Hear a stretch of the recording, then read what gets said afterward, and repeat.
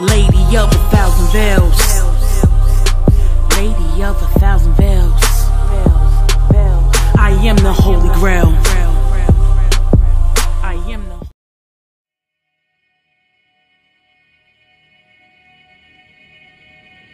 Peace and love. This is Spica of the Mother Star, and you're tuning in to Daughter of the Old Wise Serpent. Today, I want to discuss the topic of where do we live? Do we live on Earth? Are we on a planet? Is it a plane?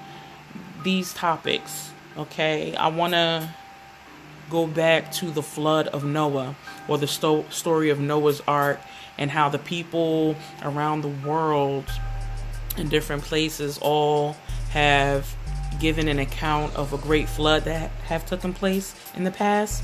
So I want to read some of these notes because one day I was um, watching YouTube and a Noah's Ark story came on. I was like, damn, whatever happened to Noah's Ark? And then the divine inspiration hit me like, you live inside of Noah's Ark. And Noah's not a boat. Okay, it's not. They lied to us, telling telling us that he built this big ass wooden boat, and that's a lie. And I'm about to prove it to you. Okay, I want you guys to pay attention to the video that follows this one. But first, before I go, I want to read these notes that I have wrote down. Okay, so it was talking about the fallen angels because Noah had a close relationship with the fallen angels and how they landed on Mount Hermon. That is the big key.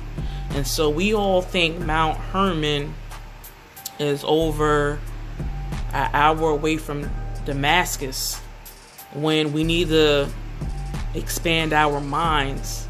Okay? That when they say the fallen ones landed on Mount Hermon, the fallen ones landed on Mount Hermon. And a mount is somewhere that is up high in a high place.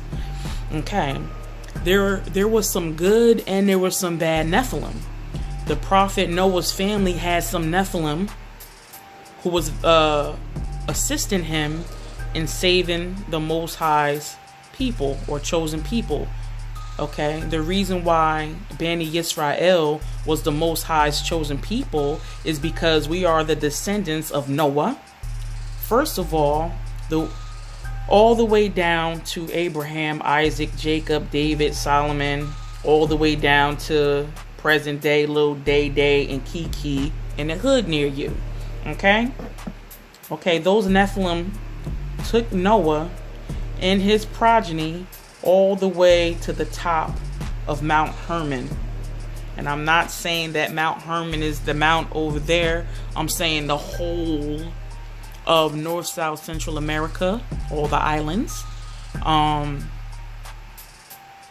Australia, China, Europe, Middle East, Africa, all of that, Antarctica, all of that. This this whole because it's not that big if you really want to get technical on a map this place is not that big okay? It's not all right? So i'm saying that the whole of this is mount hermon. Stay tuned so that i can show you exactly what i'm talking about. Like comment share subscribe. Please give me your opinion on this. Peace and love look at this the paramount symbol is way up. It's a mountain with the star constellations going around it in the shape of a dome. I want to explain to you that Noah's Ark is really Noah's dome or arch technology.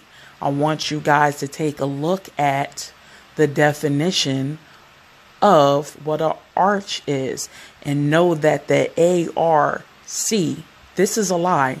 This boat was never created, okay?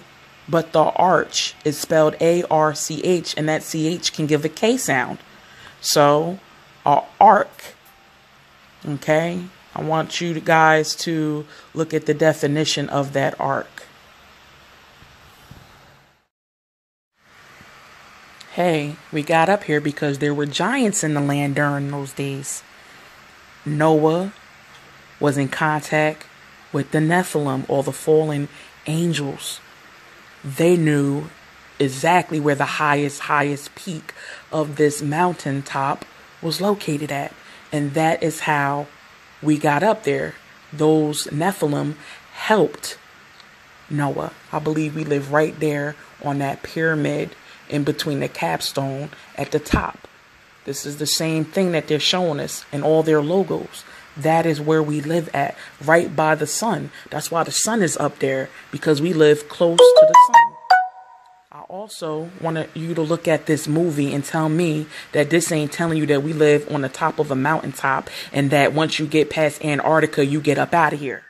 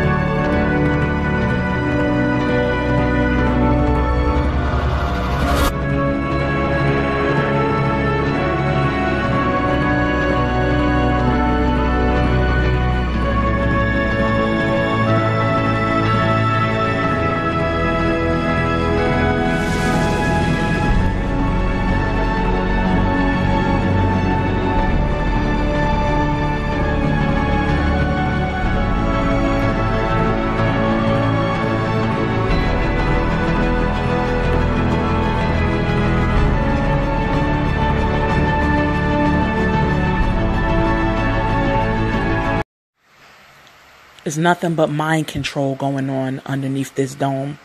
Because don't forget, some of the fallen ones have carved out the inner mountain top, inner mountain and live inside of a hollow mountain. We live inside of a hollow mountain and there's some giants that had to be able to fit inside to live inside of it to save themselves from the flood. Okay? So yeah, if it's a flood, wouldn't you go up to high grounds? So why wouldn't they take us to Mount Hermon? Because that's where they came down on. They knew how high it was. And that's how we got saved from the flood. And that's how their their offspring is in here with our bloodline. Okay? I want y'all to get ready to watch the next clip from the movie Thor. Asgard. Look how Asgard is depicted in this next movie clip. Okay, you can't tell me we don't live on top of a mountain. Whether this mountain is on a part of Earth that's flooded out or not, I don't know. Came the frost giants.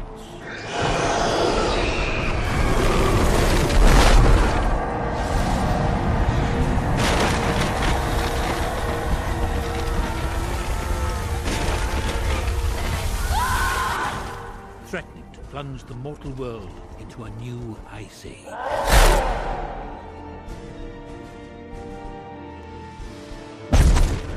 But humanity would not face this threat alone.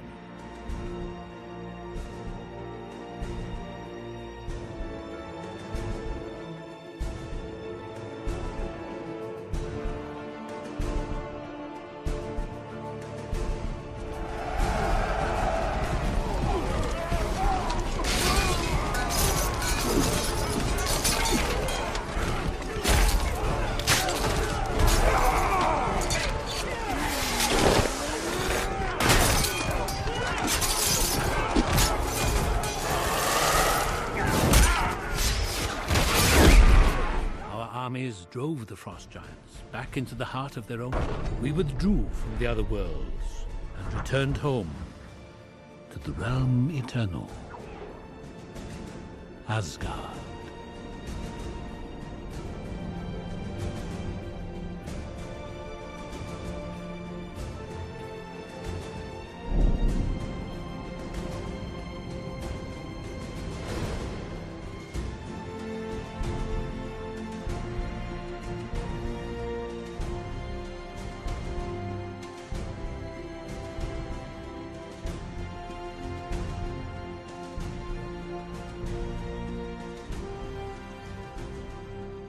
Here we remain as a beacon of hope.